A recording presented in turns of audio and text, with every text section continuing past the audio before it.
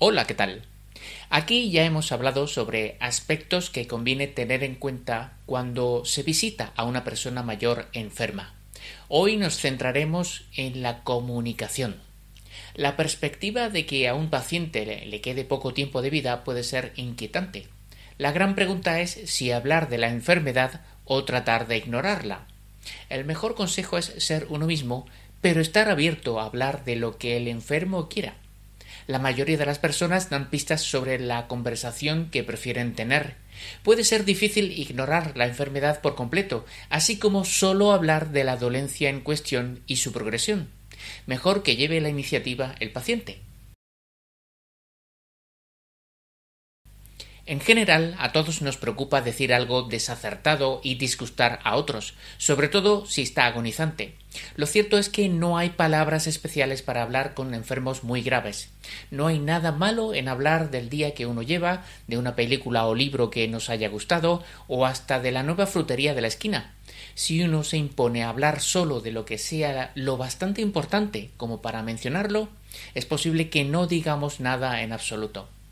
Se puede pensar en lo que se habría hablado antes de que a la persona le diagnosticaran la enfermedad y empezar por ahí. Si eso no ayuda, decir siento mucho que tengas que pasar por esto servirá para iniciar un diálogo. Tal vez sea algo tenso al principio, pero seguramente la incomodidad irá desapareciendo con la charla. Por querer proteger al paciente, muchos dudan a la hora de hablar de la gravedad de su afección. Aunque puede parecer una buena idea proteger al enfermo de la tristeza y la preocupación, evitar el asunto de la enfermedad puede hacerlo sentir muy solo. Si la persona plantea temores sobre el futuro, es bueno reconocerlos y fomentar la conversación. En lugar de cambiar de tema o decir que no se preocupe, se puede probar con Cuéntame más sobre eso. Esto favorecerá seguramente la comunicación. A veces las parejas se protegen mutuamente de sus preocupaciones intentando no aumentar la carga del otro. Sin embargo, en una relación cercana es probable que las dos personas tengan inquietudes similares sobre lo que pasará cuando el otro falte y encuentran un gran alivio en saber que están pasando por retos emocionales similares. En lugar de angustiarse mutuamente, pueden descubrir que, a través de una conversación abierta, son capaces de apoyarse el uno al otro. Aunque hay que tratar de ser uno mismo junto al lecho del enfermo, conviene ser sensibles a las dificultades a las que se enfrenta la persona. Es mejor mantener ciertas discusiones lejos de la cabecera de la cama. Por ejemplo, puede haber tensión entre los miembros de la familia cuando hablan sobre lo que la muerte significará para ellos o cómo será la vida cuando se vaya. Si los acompañantes discuten o están muy en desacuerdo entre sí sobre un tema, deberían plantearse mantener estos debates fuera del alcance del paciente, ya que pueden añadirle un estrés innecesario.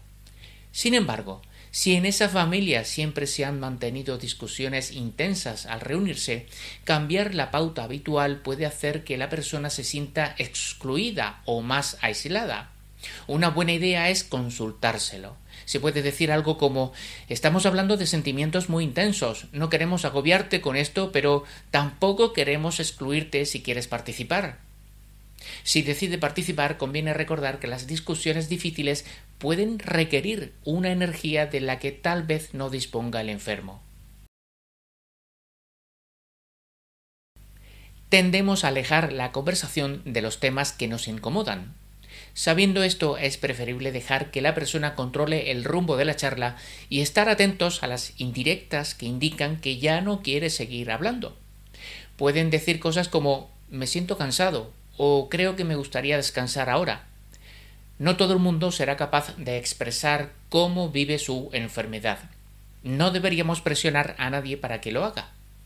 Alguien que agoniza puede querer hablar de lo que ha visto o logrado en su vida. Escuchar sin perder detalle transmite la idea de que sus palabras siguen teniendo valor y de que la gente sigue preocupándose por ella. A veces las palabras o su significado pueden ser dudosos, ante lo cual se puede decir algo como intento entender pero me cuesta, para que la persona sepa que uno se preocupa por escucharla. Si se frustra porque no la comprendemos, se puede hablar del asunto más adelante cuando las cosas puedan estar más claras, después de haber hablado con quienes pueden dar las explicaciones necesarias. A veces los pacientes muy enfermos pueden hacer comentarios sobre cosas que ven en la habitación que no están realmente allí. Pueden hablar sobre alucinaciones. Si no le molestan, no hay por qué corregir señalando de forma brusca que no hay nada allí. Otras veces un moribundo se refiere a otros que ya han muerto y dice cosas como mi madre me está esperando. En tales casos es mejor reconocer esto con palabras de apoyo en lugar de cuestionar a la persona. Sin embargo, es importante informar al médico si la confusión aumenta, ya que a veces se puede tratar y aliviar. Una enfermedad grave, a medida que avanza, puede causar confusión. Tal vez traer relojes o calendarios ayude al enfermo a orientarse, pero éste puede seguir sin estar seguro de dónde está o de quiénes son los visitantes, incluso si se trata de sus hijos o la pareja de toda la vida.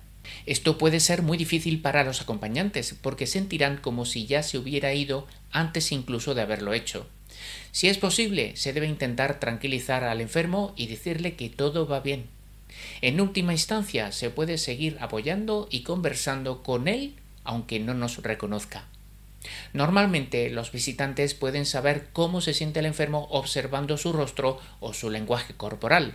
Si parece ansioso o incómodo, no hace falta esperar a que lo diga para darse por enterados y tranquilizarlo. ¿Cómo estás? Hoy pareces diferente. Podría ser una forma de acercarse a un paciente que parece agobiado y necesita apoyo.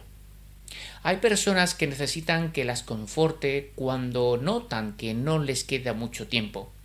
Decir algo como te vamos a echar mucho de menos, pero estaremos bien, puede dar serenidad y ayudar a aceptar mejor la dura realidad. A veces la persona moribunda puede sentir que es el pegamento que mantiene unida a la familia, o siente que no puede morir porque espera que un miembro de la familia vuelva a casa algún día. Hacerles saber que la familia mantendrá sus lazos puede proporcionar el sosiego necesario y cierta paz. También se da el caso de que al final el paciente pierde la conciencia, la familia y los amigos deben sentirse libres para hablar con la persona moribunda. No solo porque nadie puede estar seguro de que las palabras se oigan o no, sino porque el hecho de pronunciarlas puede proporcionar alivio a quien desea despedirse. A propósito, ya va siendo hora de despedirme. Espero que esta información ayude a hacer más llevadero ese duro trance. Un fuerte abrazo y muchas gracias.